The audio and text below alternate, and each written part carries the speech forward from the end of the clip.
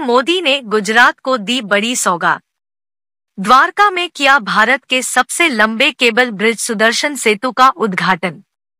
सुदर्शन सेतु भारत का सबसे लंबा केबलाधारित पुल है, जो ओखा मुख्य भूमि और गुजरात में बेट द्वारका द्वीप को जोड़ता है। पहले इसे सिग्नेचर ब्रिज के नाम से जाना जाता था। चुनावी साल में प्रधानमंत्री नरेंद्र मोदी ने अपने गृह राज्य गुजरात को एक बड़ी और खास सौगात दी है। प्रधानमंत्री ने आज गुजरात में ओखा मुख्य भूमि और बेट द्वारका को जोड़ने वाले लगभग दो पॉइंट बत्तीस किमी लंबे देश के सबसे लंबे केबल आधारित पुल सुदर्शन सेतु का उद्घाटन किया। पहले इसे सिग्नेचर ब्रिज के नाम से जाना जाता था। लेकिन अब इस पुल का नाम बदलकर सुदर्शन सेतु, या सुदर्शन ब्रिज कर दिया गया है। बेट द्वारका ओखा बंदरगाह के पास एक द्वीप है, जो द्वारका शहर से लगभग तीस किमी दूर है, जहाँ भगवान कृष्ण का प्रसिद्ध द्वारकाधीश मंदिर स्थित है। सुदर्शन सेतु भारत का सबसे लंबा केबलाधारित पुल है। जो ओखा मुख्य भूमि और गुजरात में बेट द्वारका द्वीप को जोड़ता है। पुल के उद्घाटन के दौरान प्रधानमंत्री मोदी के साथ गुजरात के मुख्यमंत्री भूपेंद्र पटेल भी मौजूद रहे।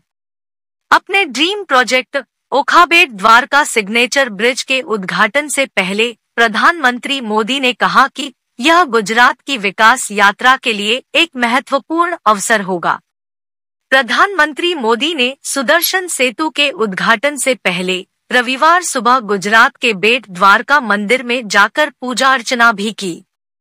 पीएम मोदी ने शनिवार को एक्स पर एक सोशल मीडिया पोस्ट में कहा था, कल गुजरात के विकास पथ के लिए एक खास दिन है।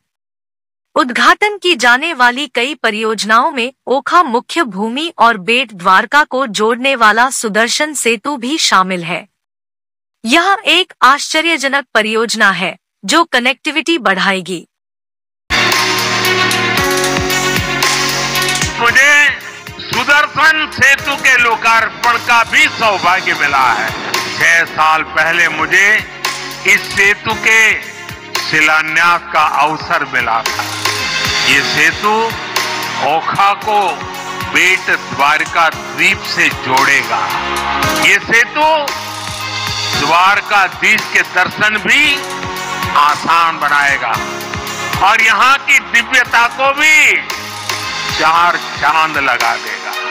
जिसका सपना देखा, जिसकी आधारशिला रखी, उसको पूरा किया, यही ईश्वर रूपी जनता जनार्दन के सेवक मोदी की गारंटी है।